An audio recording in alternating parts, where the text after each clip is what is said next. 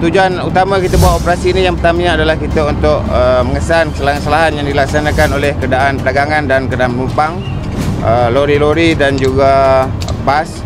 Dan yang keduanya kita beri tumpuan kepada motosikal, terutamanya motosikal berkuasa tinggi yang mana sering menjadikan uh, laluan uh, Lebuh Raya Karak ini sebagai laluan utama.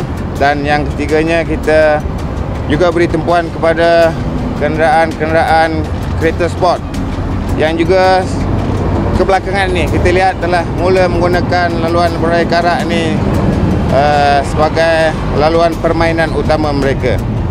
So jumlah saman kita untuk PDRM saja kita telah keluarkan sebanyak 302 saman. Uh, utamanya saman-saman dikenakan ke atas tiada lesen memandu, tiada cukai jalan dan juga kesalahan nombor plat tidak mengikut spesifikasi.